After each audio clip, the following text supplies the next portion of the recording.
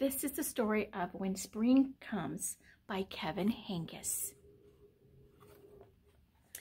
Before spring comes, the trees look like black sticks against the sky.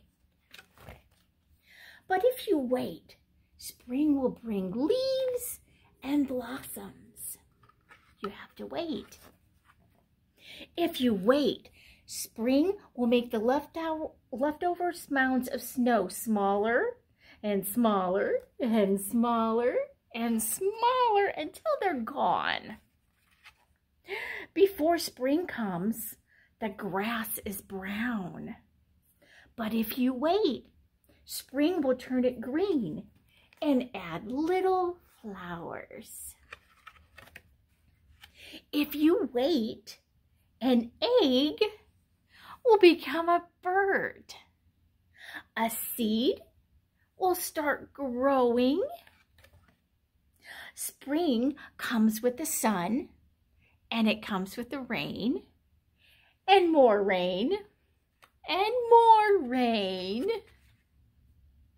Do you like mud? Do you like puddles? I hope you like umbrellas. Before spring comes, the garden is just dirt, empty. But if you wait, spring will push green shoots through the dirt to fill up the garden. And look, the bunny's eating the green, isn't he? Yeah.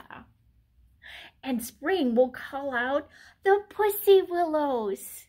See the little buds that come on the trees? And they feel like kitty paws. And it also brings out new kittens. Spring can come quickly or slowly. It changes its mind a lot. See, there's the flowers and there's the flowers with snow. But when spring is finally here to stay, and you will know it, there will be buds and bees and boots and bubbles and there will be worms and wings and wind and wheels. You will feel it. You will smell it. You will hear it. When spring is finally here to stay, you may think you are done waiting, but you are not. Now you have to wait for summer.